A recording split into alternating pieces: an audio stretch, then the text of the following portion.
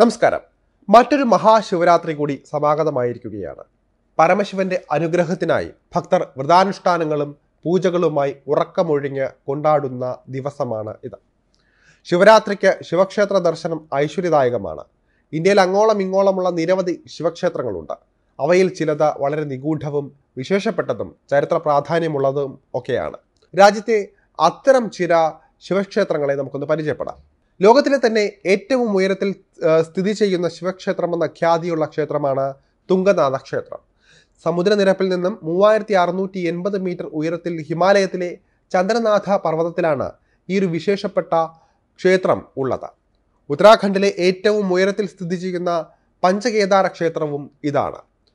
ഈ ക്ഷേത്രത്തിന് ആയിരത്തിലധികം വർഷം പഴക്കമുണ്ടെന്നാണ് കരുതപ്പെടുന്നത്.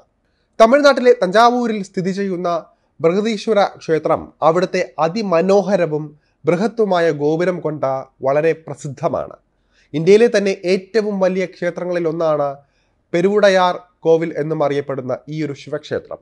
ചോള രാജാവായ രാജരാജ ചോളൻ എ ഡി ആയിരത്തി പത്തിൽ പണികഴിപ്പിച്ചതാണ് ഈ ക്ഷേത്രം. വളരെ പഴക്കമുള്ള ക്ഷേത്രമായതിനാൽ തന്നെ നിരവധി പേരും ഈ ഒരു ഐതിഹ്യമൊക്കെ അറിഞ്ഞു തന്നെ ഇവിടേക്ക് ഒഴുകിയെത്തുന്നുണ്ട്.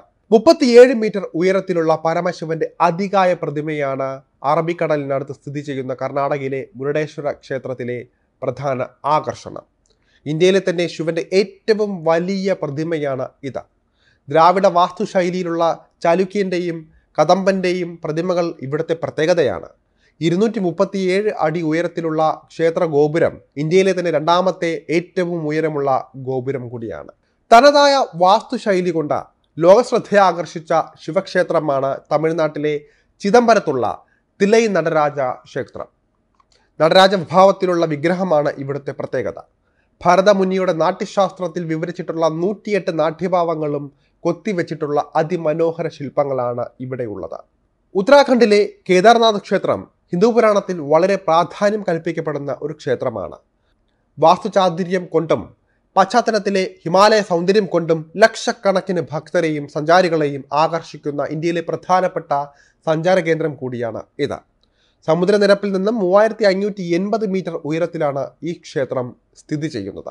ഏറെ നിഗൂഢതകൾ ഒളിച്ചു വച്ചിരിക്കുന്ന ഹിമാലയ സാനുക്കളിൽ തന്നെ സ്ഥിതി ചെയ്യുന്ന വിശ്വവിഖ്യാതമായ മറ്റൊരു ക്ഷേത്രമാണ് ജമ്മു കാശ്മീരിലുള്ള അമർനാഥ്. അമരത്വം ഈശ്വരൻ എന്നീ പദങ്ങളിൽ നിന്നുമാണ് അമർനാഥ് എന്ന വാക്ക് ഉത്ഭവിച്ചത്.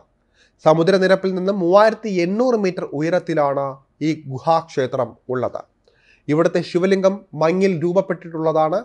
അതുകൊണ്ട് തന്നെ ഒരുപാട് പേരാണ് ഈ ഒരു ശിവക്ഷേത്രം സന്ദർശിക്കാനായി എത്താറുള്ളത്. മോക്ഷത്തിന്റെ പുണ്യഭൂമി എന്ന് വിശ്വസിക്കപ്പെടുന്ന ഗംഗാതീരത്തെ കാശി വിശ്വനാഥ ക്ഷേത്രം ആത്മീയാന്തരീക്ഷം കൊണ്ടും അത്ഭുതപൂർവമായ അനുഭവങ്ങൾ കൊണ്ടും അവിടെ എത്തുന്ന ഭക്തരുടെ മനസ്സിൽ ചിരപ്രതിഷ്ഠ നേടിയ ക്ഷേത്രമാണ്.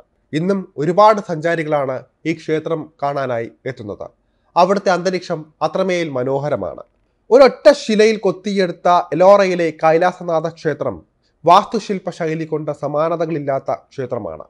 ഈ ക്ഷേത്രത്തിന്റെ നിർമ്മാണത്തിന് നൂറ് വർഷങ്ങളെങ്കിലും എടുത്തിരിക്കാമെന്നാണ് ചില കണക്കുകൾ പറയുന്നത്.